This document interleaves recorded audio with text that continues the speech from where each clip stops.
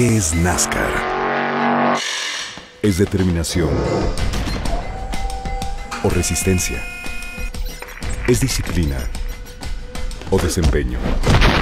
¿Voluntad o velocidad?